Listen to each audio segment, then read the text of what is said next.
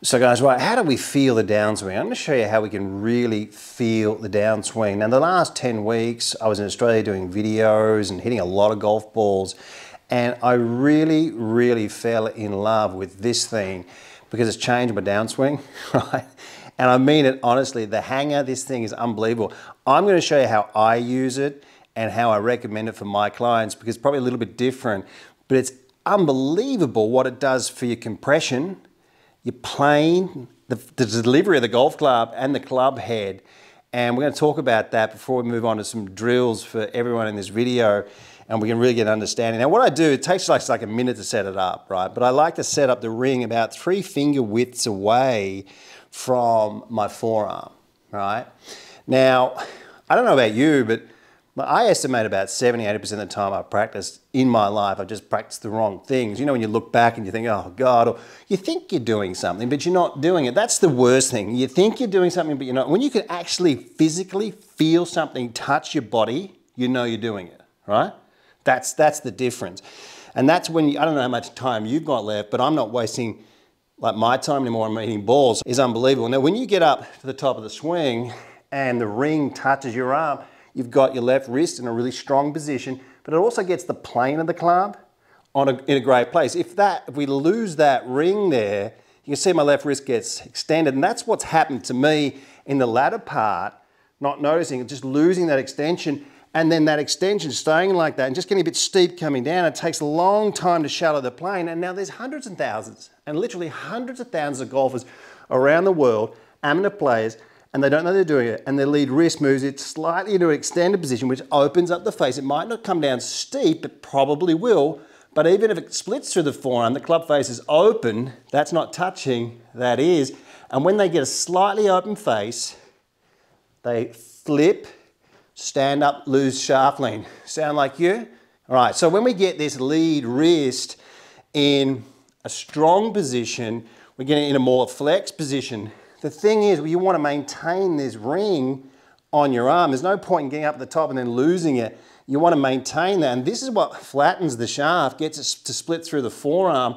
And this is how we get the club face in a stronger position to get sharply. So people, before we have a look at my swing using the hanger, let's have a look at some of the great ball strikers out there and some evidence-based material as we see the shaft flatten. Have a look at this. See the club head, see the shaft flatten and move through that trail forearm. Now what this does, people, is it brings the club head in behind the hands. Okay, this is a really important part to notice. Have a look at Rory McIlroy here.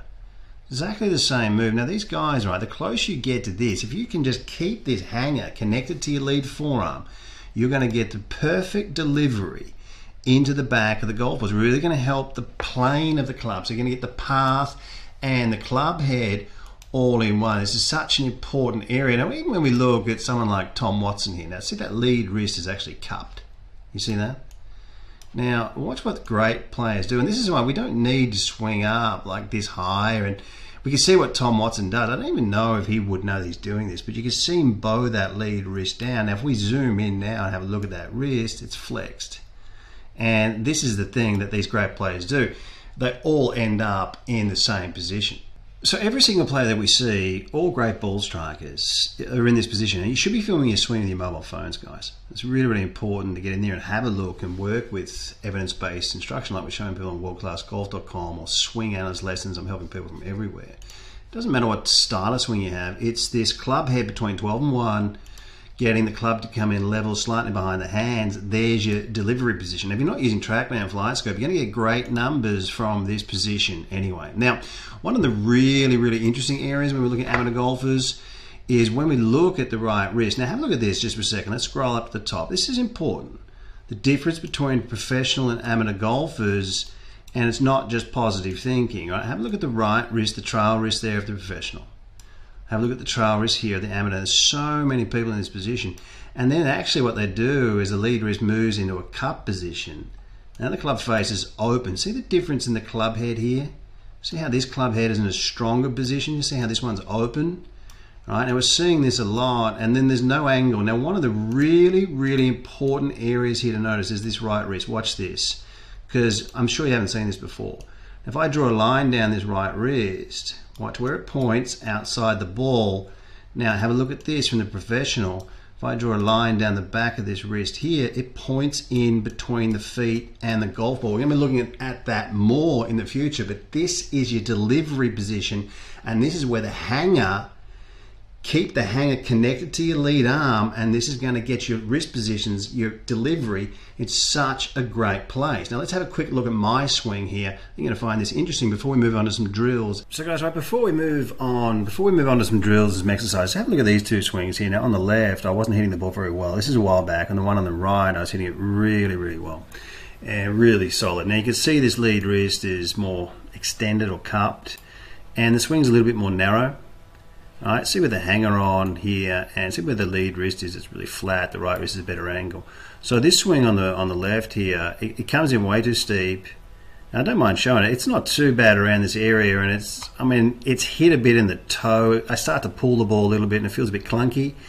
Where this one on the right is hit really, really good. So when the, when the club comes down, it shallows through the forearm. See that? And this way, it's in a stronger position, and I can move through the ball, and it's just I can hit it really solid from there. And it's just amazing. And I think once you guys get in there and start filming your swings here, you'll start to see some incredible moves. Right, let's get further on into the video. We look at some really exciting drills and exercises and how we can feel this downswing position. For us to get that compression, right, to get in there and stay on top of the shot and get that shaft lean, this face has to come down. It can't come down like this. And this is where this ring, this feedback of simply maintaining this pressure against your arm at the top is unbelievable. So guys, all right, let's have a look how I, well, let's have a look how we can use this thing, right? So what I like to do, as I said, I like to get this hanger set up on the side. So I've got around three fingers. You can have two. I just like to exaggerate them. I like to exaggerate stuff when I'm practicing. So then you get up to the top of your swing, right?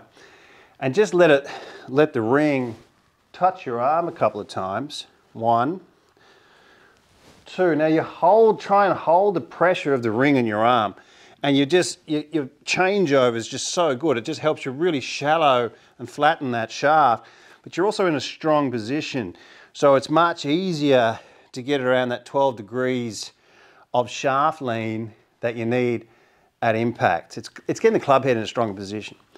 All right, so get up at the top, ring touches arm one, two, just feel it remaining there on the arm. And then move through the golf ball.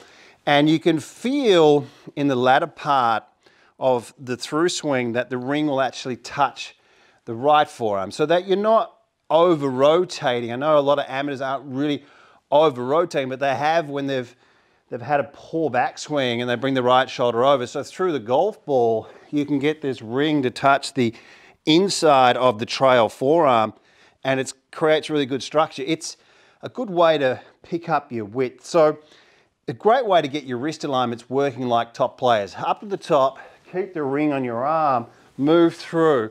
And guys, this is great feedback. And when you film your swing and you look at it, and you look at it down the line, it will look so much better, I guarantee it. So guys, when you're hitting like hold off shots, like three quarter shots here, this is when I don't allow the hanger to touch my trail forearm on the way through. So you, you're sort of bringing the flight down here. It's got a, a lot of compression, it's held off, but you have to get the ring to stay on, really on that left forearm with some pressure. When you're hitting knockdown shots, you're better off getting that face even in a more downwards position because you want to get a bit more shaft lean on it. And when you get more shaft lean, you need a stronger face so that you're not opening up the face at impact. And so on the way through, I sort of like to try and keep the hanger pretty close to that left forearm to really hit that held off punch lower flight that's not hit by the wind. And we need that shot, you know, with your nine irons, your eight irons.